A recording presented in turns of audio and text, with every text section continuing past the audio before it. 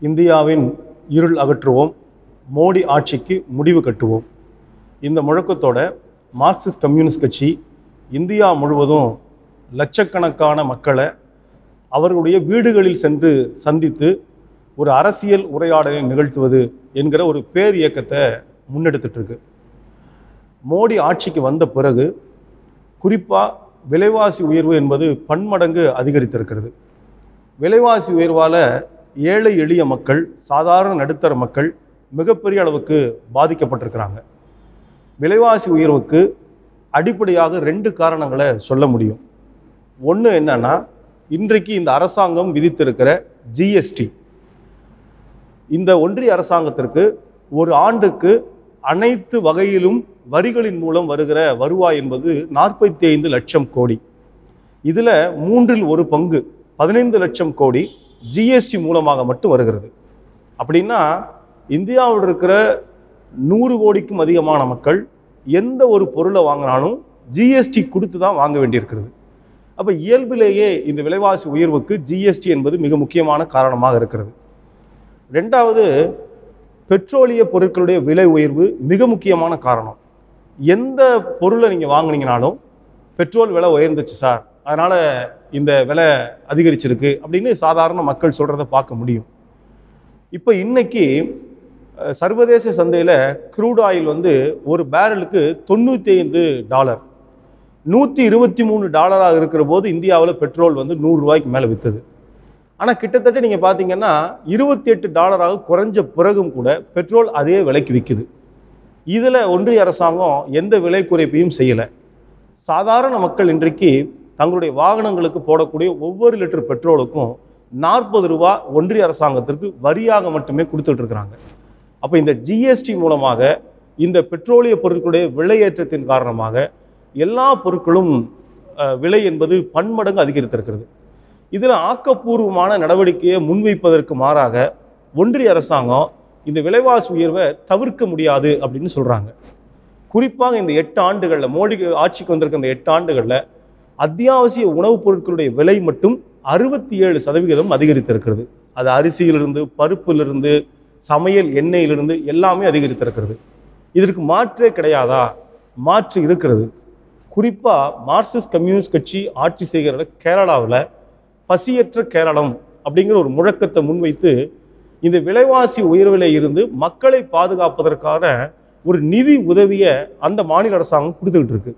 கடைசி ரெண்டு ஆண்டுகளில் மட்டும் இந்த பசியற்ற கேரளம் என்கிற இந்த திட்டத்தின் மூலம் ஒன்பதாயிரத்தி எழுநூறு கோடி ரூபாய் அரசாங்கம் ஒரு மானியத்தை கொடுத்துருக்காங்க. சப்ளைகோ என்கிற அந்த அத்தியாவசிய பொருட்களை விநியோகிக்கக்கூடிய மாநில அரசாங்கத்துடைய நிறுவனத்திற்கு மட்டும் ஐயாயிரம் கோடி கொடுத்துருக்காங்க. பொது விநியோக திட்டத்திற்கு ரெண்டாயிரம் கோடிக்கு மேலே கொடுத்துருக்காங்க. அப்போ விலைவாசி உயர்வு அதிகரிக்கிற போது அது மக்களை நேரடியாக தாக்கக்கூடாது என்பதற்காக அரசாங்கம் ஒரு பொறுப்பை ஏற்றுக்கொள்கிறது.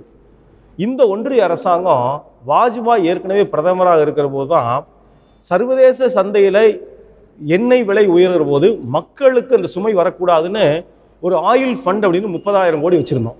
அந்த முப்பதாயிரம் கோடியை எடுத்து சர்வதேச சந்தையில் விலை உயர்கிற போதெல்லாம் இந்தியாவில் மக்கள் அந்த சுமையை ஏற்றுக்கொள்ளட்டும் என்கிற முடிவை எடுத்தது இதே பிஜேபி அரசு பல ஆண்டுகளுக்கு முன்பு. அப்போ இவர்களுக்கு ஒரு மக்கள் நலன் சார்ந்த பார்வை கிடையாது. விலைவாசி உயர்விலிருந்து மக்களை பாதுகாக்க வேண்டும் என்று சொன்னால் ஒரு மாற்று பார்வை என்பது இருக்கணும் மாற்று கொள்கை என்பது இருக்கணும். அது கேரளத்தில் இருப்பதினால்தான் அவங்க வந்து விலைவாசி உயர்விலிருந்து மக்களை பாதுகாப்பதற்கான முயற்சி அந்த மாநில அரசாங்கம் எடுக்கிறது.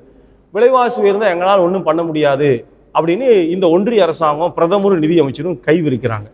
அப்போ விலைவாசி என்பது மிக முக்கியமான பிரச்சனையாக மக்கள் மீதான ஒரு யுத்தமாகவே இன்னைக்கு ஒன்றிய அரசால் தொடுக்கப்பட்டு கொண்டிருக்கிறது. ரெண்டாவது மிக முக்கியமான பிரச்சனை வேலையின்மை. பொதுவாக யார் வேலை தேடுவாங்க? இருபது வயது இருக்கக்கூடிய அந்த இளைஞர்கள் தான் வேலை தேடுவாங்க.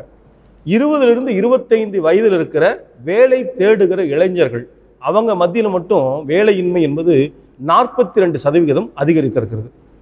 இந்திய உழைக்கும் மக்கள் சந்தையில் தொண்ணூறு கோடி பேர் இந்திய உழைக்கும் மக்களாக இருக்கிறாங்க. அதில் அறுபத்தி ரெண்டு சதவிகிதம் பேர் எங்களுக்கு இனி வேலை கிடைக்காது அப்படின்னு நம்பிக்கை இழந்து வேலை தேடுவதையே நிறுத்திவிட்டார்கள் என்கிற ஒரு தரவு இன்னைக்கு வெளியாக இருக்கிறது. ஆண்டுக்கு இரண்டு கோடி பேருக்கு வேலை கொடுக்கறதா இவங்க சொன்னாங்க. இப்போ வேலையின்மை என்பது உச்சத்தில் இருக்குது இந்திய இளைஞர்களுக்கு எங்கே வேலை அப்படின்னு கேட்டால் இராணுவத்தில் ஒப்பந்த அடிப்படையில் பணியாற்ற வர்றீங்களா அப்படிங்கிற ஒரு கேள்வியை இந்த ஒன்றிய அரசாங்கம் கேட்குது அப்படின்னா வேலை வாய்ப்பிற்கான ஒரு மாற்று கொள்கையும் இவங்ககிட்ட இல்லை. விலைவாசி உயர்ந்தால் அது மக்கள் சந்திக்கட்டும் என்று கைவிருக்கிற ஏற்பாடும் இருக்கிறது. இன்னைக்கு கார்ப்பரேட் நிறுவனங்கள்லாம் மிகப்பெரிய உழைப்பு சுரண்டலில் ஈடுபட்டு இருக்கிறாங்க. பொதுத்துறை நிறுவனங்களில் வேலை இல்லை மத்திய அரசாங்க பணிகளில் வேலை இல்லை எல்லா இடங்களும் காலியாக இருக்கிறது. படித்து முடித்த இளைஞர்கள்லாம் கார்ப்பரேட் நிறுவனங்களில் மிக குறைவான சம்பளத்திற்கு வேலை பார்க்குற நிலைமை என்பது இந்தியாவில் உருவாயிருக்கு. இப்போ ஸ்விக்கி ஜொமேட்டோ இது மாதிரி உணவுப் பொருட்களை சப்ளை செய்யக்கூடிய நிறுவனங்கள் இன்றைக்கு ஒரு அறிவிப்பு என்ன வெளியிட்டிருக்காங்கன்னா மூன்லைட் பாலிசி அப்படின்னு அறிவிப்பு வெளியிட்டிருக்கிறாங்க. அதாவது அந்த நிறுவனத்திற்கு வேலை இருக்கிற அந்த பீக் ஹவர்ஸில் மட்டும் வேலை பார்த்தா போதும். மற்ற நேரங்கள் நீங்கள் வேலைக்கு வேண்டாம். அப்படிங்கிற ஒரு அலங்காரமான வார்த்தையை பயன்படுத்தி ஒரு மிக கடுமையான உழைப்பு சுரண்டலை கார்ப்பரேட் நிறுவனங்கள் இன்றைக்கு அமுலாக்கி கொண்டிருக்கிறாங்க. அப்போ இந்தியாவில் இருக்கிற இளைஞர்களுக்கு வேலை வாய்ப்பை உத்தரவாதம் செய்ய வேண்டிய மோடி இந்த ஒன்றிய அரசு வேலை இல்லை அப்படின்னு கையை விரிக்கிறது. அல்லது ஒப்பந்த முறையில் வேலை பார்த்துக்குங்க அப்படின்னு ஒரு நிர்பந்தத்தை உருவாக்குறது. இதுதான் இவங்களுடைய நிலைமையாக இருக்கிறது. இப்போ விலைவாசிக்கு விலைவாசி உயர்வுக்கு எதிராக ஒரு மாற்றுக் கொள்கையை இந்த அரசாங்கம் அமுலாக்க வேண்டும். வேலை வாய்ப்பு இல்லாத இந்திய இளைஞர்களுக்கு வேலையை உத்தரவாதம் செய்ய வேண்டும். இது போன்ற அடிப்படையான கோரிக்கைகளை முன்வைச்சு தான் இது மார்க்சிஸ்ட் கம்யூனிஸ்ட் கட்சி இந்தியா முழுவதும். இந்தியாவின் இருள் அகற்றுவோம். மோடி ஆட்சிக்கு முடிவு கட்டுவோம் என்கிற இந்த பேரியக்கத்தை நடத்திக்கிட்டு இருக்கிறாங்க.